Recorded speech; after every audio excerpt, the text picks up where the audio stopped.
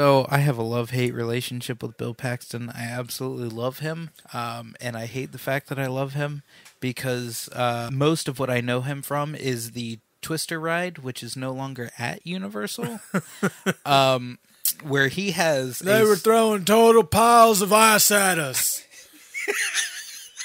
Have you ever been in front of a twister staring you right in the face?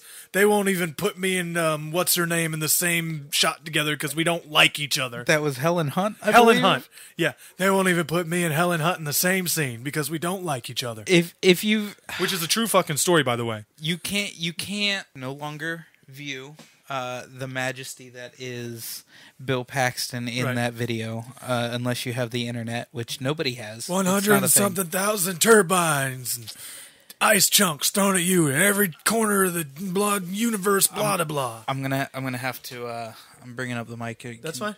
Uh, all right. So there is a a Bill Paxton stance Oh God, that you have to get into. nobody's gonna see this but me. Nope, nope. But I have to be in it because there's a. Are lot- you doing a Bill Paxton? There, I'm Are you terrible. Paxton- Paxtoning? I'm terrible at it, so imagine my voice sounds more like yours did do it. because it. was fucking fantastic. um, so there, there's a scene at the very beginning of that video where he walks out oh yeah, in front of the uh, the wreckage, right? The and he fake walks wreckage. out and he puts his hand on his hip and he stands so, slightly leg forward. I'm Bill Paxton.